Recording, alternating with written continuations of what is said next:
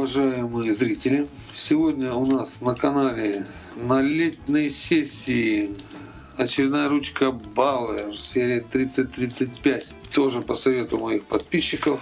Посоветовали они ее посмотреть, что она из себя представляет.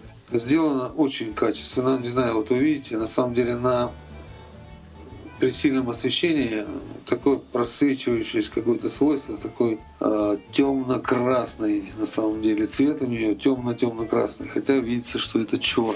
Стоимость этой ручки 258 рублей, шла на 17 дней. Материалы пластик и металл, отделочка такая серебряная, клипсы средней жесткости, скажем так. Длина ручки 136 сантиметров, диаметр 13 миллиметров и вес 29,6 грамм.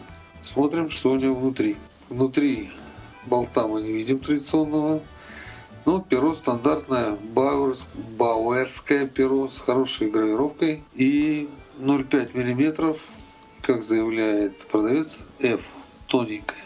Скорее всего, что это нержавеющая сталь с редистым кончиком пера. На фидере написано цифра 6. Конвертер у нее совершенно стандартный, винтовой.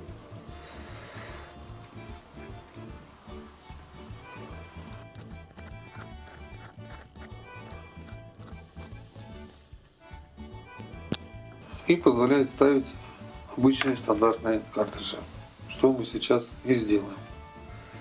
Для того, чтобы посмотреть, как она будет у нас писать. Держатель сам металлический, что мне не очень нравится, такой совершенно глянцевый. Пальцы на нем устают, ну, по крайней мере, у меня. Ну что, посмотрим, как она пишет.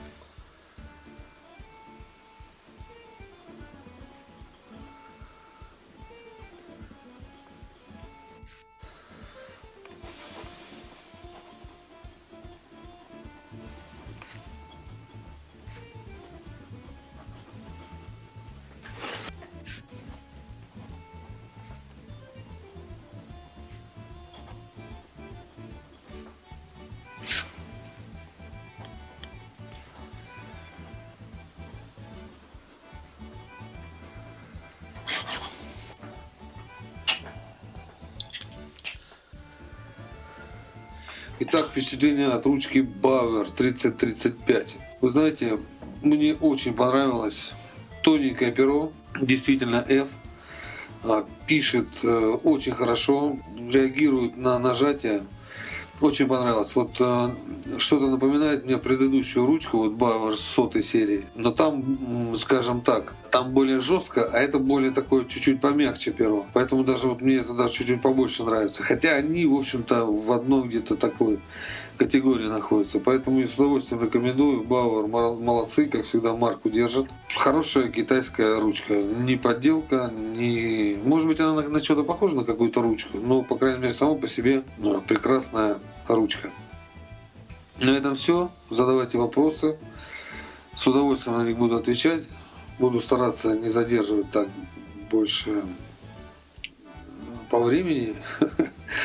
Ну, ничего, бывает. Все в жизни бывает. Поэтому до свидания, до новых встреч.